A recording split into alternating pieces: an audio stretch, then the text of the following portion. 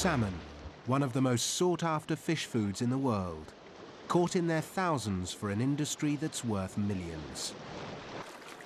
Because of the toll taken by commercial fishing, many countries restock their rivers with hatchery-reared salmon fry.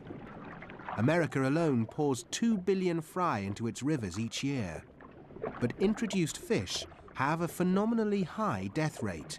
90% die in the first two weeks. Why?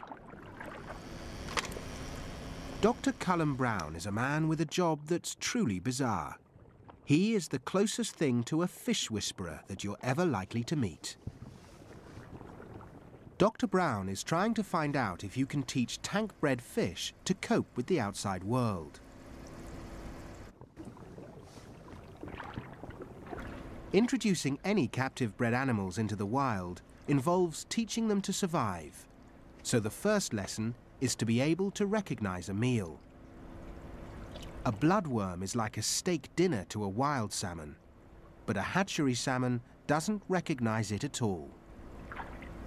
Fish live in shoals and they learn by watching what the others are doing.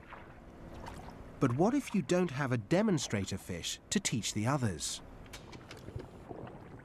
Videoing a worldly wise fry going through its paces and then playing it continuously in front of a tank containing a naive salmon fry is even more effective than a real live demonstration.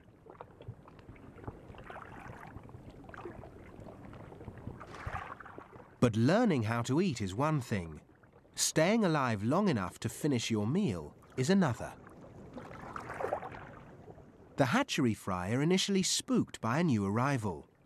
But it doesn't take long before they're behaving in a rather blasé fashion. It's this naivety that probably accounts for their massive 90% mortality. Out in the wild, there are plenty of experienced hunters ready to snatch up an easy meal.